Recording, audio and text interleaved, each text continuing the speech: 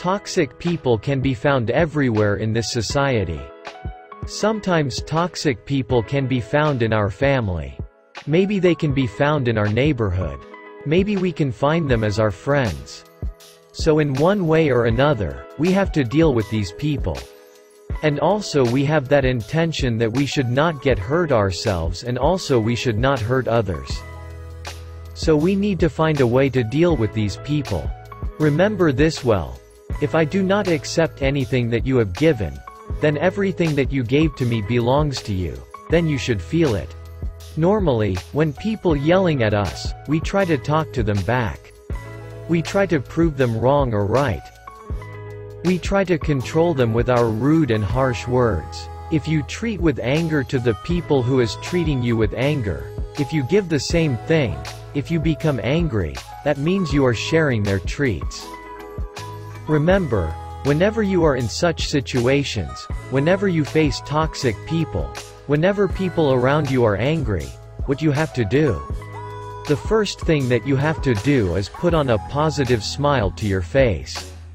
Never show your sad or angry face to them. If you show that, that means you are providing what they want because they are coming to you expecting to hurt you. If you show them that you have been hurt, then you're unsuccessful. You provide them what they wanted. So never show your angry or sad face to them. Put on a smile. Be a positive person. Be a bigger person than him. Because when one person becomes angry, he becomes mentally weak. Remember, mentally weak people express their anger easily. The reason why they are expressing their anger is because they don't have a strong mentality.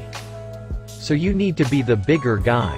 To be the bigger guy, you have to be positive, you have to smile, and you have to be motivated with virtues and morals.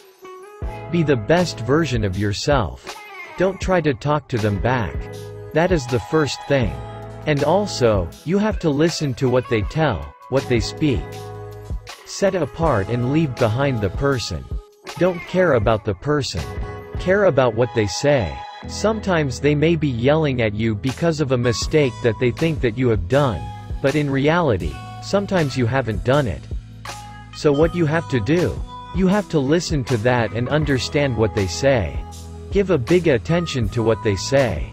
If they complain you about a mistake or something else, then you have to think, is that mistake prevails in my life? Is that mistake is inside my life? Have I done that mistake, really?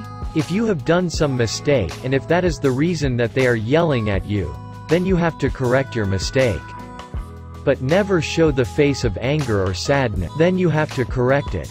If you haven't done any mistake, and still if they are complaining you, then don't try to prove them wrong. Because each and every time you try to prove them wrong, they may be understanding it in a wrong way. Because when our mind gets deluded or when our mind is covered by anger, normally, an angry man shuts his eyes and ears, and he opens his mouth.